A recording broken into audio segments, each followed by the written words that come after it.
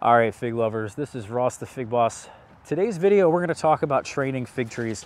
This is, in my opinion, really the most important topic related to any plant, not just figs, but if we can train our fig trees or any of our plants properly, have them have the right form, they're gonna be able to maximize sunlight, right?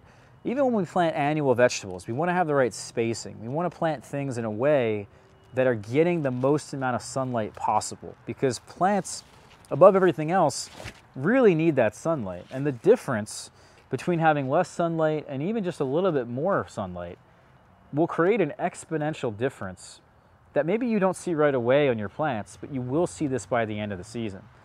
It is just really the most important thing for any plant. And in the case of the fig tree, without enough sunlight, our fig trees just will not fruit. Every fig actually needs a certain intensity and duration of sunlight to set the fruit buds along the new branches. And it has to be growing. As the tree is growing, it has to get that sunlight requirement met. Otherwise, you just won't see any fruits. And so every year I get this in the fall or in the summer. And the answer really starts now in the spring.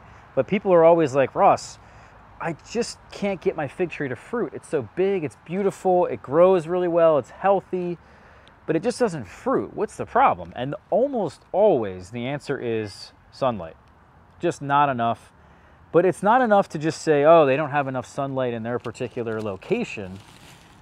Really, what's happening is that their tree is just typically too dense. There's too many leaves in their canopy, there's too many branches, crisscrossing branches, branches growing in the wrong place. It's just a tree that's either pruned too much, pruned improperly, or not trained correctly. They're not staking their trees. They're not doing anything really that's helping the tree get more sunlight.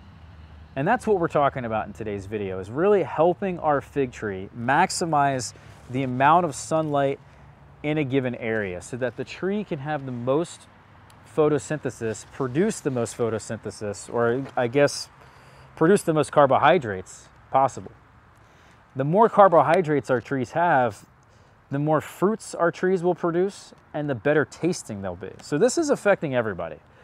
And it's a no-brainer. It's a thing that everybody wants to do. I just think, in all, honesty, this is the most important video that I will probably create all year. And it may, probably only a couple thousand people will see it. But in reality, this is the one, if I could choose one of them to go viral, this would be it. So please, at this moment, I would love more people to hear my message in this video. Hit that like button for me right now. Hit that subscribe button for me right now. Check out my blog, figboss.com. I've already written a companion guide, actually, to this video about sunlight that's on the blog and the importance of sunlight. And I've also written an article about training our fig trees properly, whether they're in containers or in the ground. This will really help you guys out. And there is no better tip I can give you guys all season long. So let's talk about training them very quickly. And so you can train them, whether it's in a container or in the ground, there is really no difference. Whether you're in Alaska or, or Arizona, there is really almost no difference in the way we train them. We always want them to either be a bush or a tree. That's up to you. The difference between a bush and a tree is this main trunk down here. And so as a tree, we want to have them grow as a single stem whip, so one branch. And then from that one branch, we form the permanent scaffolds. And you can see here that there's one trunk that comes up from the soil line. We topped it, or you can prune it. You can break it off with your hand during the growing season. That's called pinching and then it will actually start to branch out. And in this particular tree's case, it branched out into a V pattern or a Y, right? So the bottom of the Y is that main trunk, and then there's the V, which forms these scaffolds. So let me zoom in real quick, and you can just get an idea of what I'm talking about. Again, here's the soil line, main trunk, and then it branches out into a V and forms those scaffolds that we're talking about.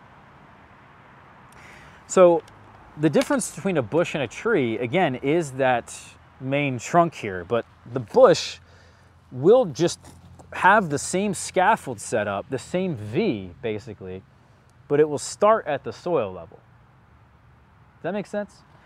So instead of having two scaffolds, let's say a foot and a half above the soil, the two scaffolds then start at the soil level.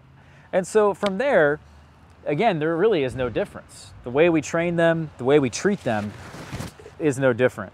And so what we're trying to do in most cases is form the right number of scaffolds. That's really the name of the game. You want to have about two to five scaffolds in most situations. For older trees and trees in a lot more sunlight, maybe from sun up to sun down, you could get away with having more scaffolds than less scaffolds. If you want a lot of scaffolds, I would, I would make the argument have longer scaffolds in length that reach further out to get that sun. So if we're gonna have seven to eight or more scaffolds, we wanna make sure that our tree is actually having longer scaffolds. And these longer scaffolds essentially are going to be able to reach more of that sunlight and create a wider canopy. The longer the scaffolds, so the longer this part of the V is, the further out away from the center of the tree this whole system of branches I've created here will be. And so the further away this system of branches is from this system of branches, basically the wider the canopy is and the more light that our trees can reach. That's the name of the game. We're just trying to maximize this whole space here. And so you can already kind of tell probably from this tree because I only have two scaffolds. I really would like four. When I topped the tree originally to form the scaffolds, we did form four or five scaffolds actually, but only two of them grew healthy and achieved the dominance that they needed to continue growing and form the tree that you see today. But the two down here at the base or at this, the bottom of this V, they didn't grow very much, but they do exist. And so it would have been nice actually if I had a scaffold that grew out this way and then formed a whole system of branches towards you guys. And then another scaffold actually that formed the same thing but away from you guys. And so we're essentially picture this whole, if you saw the tree from the top, you want to picture this whole thing as like a box or a big circle. And so that's kind of what a fig tree does. They eventually form a rounded crown. They're very different than other fruit trees in some cases, whereas other trees will form a central leader, right? Typical Christmas tree grows straight up and then forms all these branches from that main leader. There is no real main leader on a fig tree. It just forms this rounded crown. So we're trying to get this rounded crown or a box, let's say, and we're trying to have each scaffold in this box in the corner of each box. So if this system of branches right here that's next to me, this is in one corner. Another corner would be right here, if there was a scaffold here. The other one's over there in that corner and the other one's away from you guys.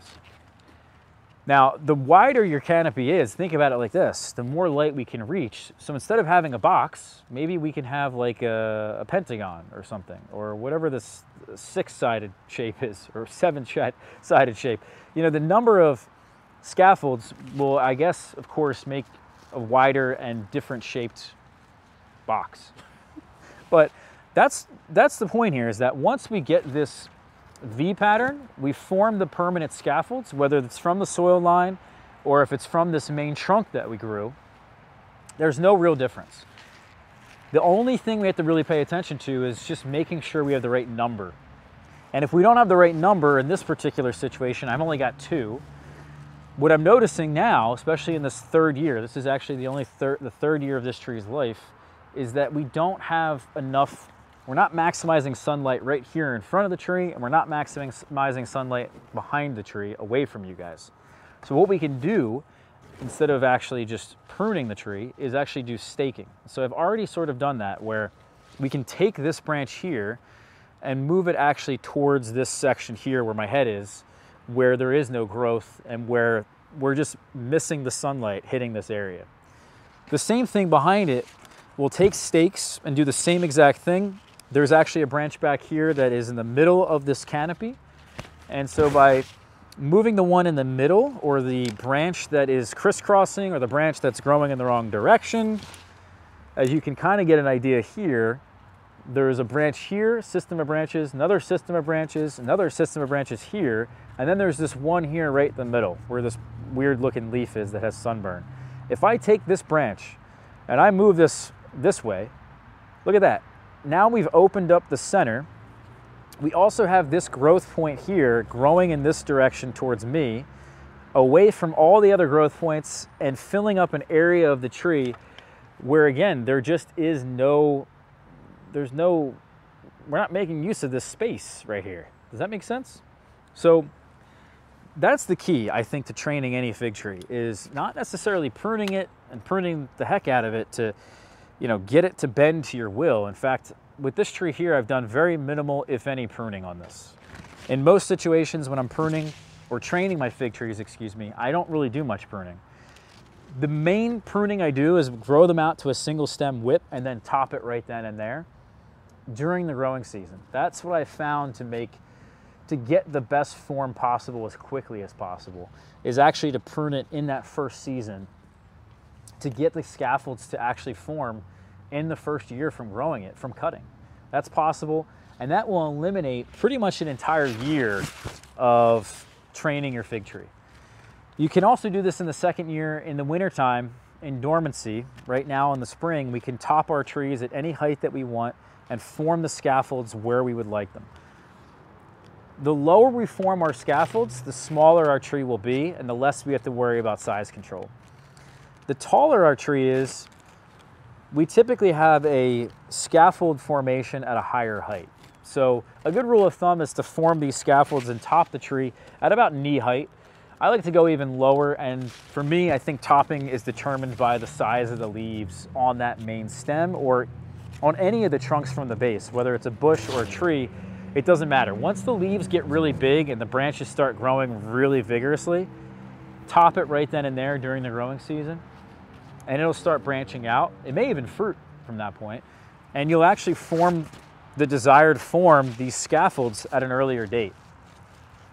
Once we form the scaffolds, then we just kind of focus on, from that point, forming these new branches that are the fruiting branches. And so that's the second year where last year I had one, two, three, four, five, six, seven, eight. If you count the brown branches on my tree at this moment, the hardened lignified wood, that's brown or gray maybe on your tree, those are the branches from last year that fruited. And now we're forming this green growth that also fruits, and this is what I would consider as well, the fruiting branches. On the new growth is where we form the main crop. That's the crop that everybody wants for the most part. Brevas are formed on last year's growth, and that could be something that you would want to do as well. And that's a, sort of a different topic, but for the most part, the more of these fruiting branches we can form in a given area that are also achieving the right amount of sunlight, duration, and intensity, the better off we're going to be. Because every single fruiting branch that forms, all that new growth that forms, as it's growing, has to get the right amount of sunlight duration and intensity in order for that fruit bud to form. Figs are very different than other fruit trees in that sense. The fruits are formed on the new growth. That's kind of sort of rare, um, especially in the fig tree's case in the way that it continues to grow and continues to fruit. The grapevine, as an example, will fruit on new growth. Uh, mulberries will fruit on new growth, but typically you need growth from the prior season to have those fruit buds form and actually fruit, uh, fruit for you. But the fig doesn't really need this prior growth necessarily, although it is recommended. So, and it is just different in the way that it does fruit, but we're getting off topic. Once we form these fruiting branches that I counted eight or nine or 10 of them on this tree, and they all fruited last year, they all did well, they all grew in their own little respective space and tried to maximize as much light as possible. From there, now in the third season, which is what this tree is in, it's leafed out again in the spring. And now the tree kind of already knows what it's doing. It, it, kind of already knows where to grow because we have established a form. The trees instinctively know where the sunlight is and they'll kind of grow into that sunlight. However, if we want to get really, really good with this, we're going to take our branches and we're going to stake them. We're not to prune them away. We're going to stake these branches so that they can grow in the directions that we want them to. Every fig tree, guys, is a little different and they have different growth patterns. Some are very erect and will grow straight up in the air. The figs that grow straight up in the air and don't have more of a wider angle to their branches, I've grown hundreds of varieties, guys.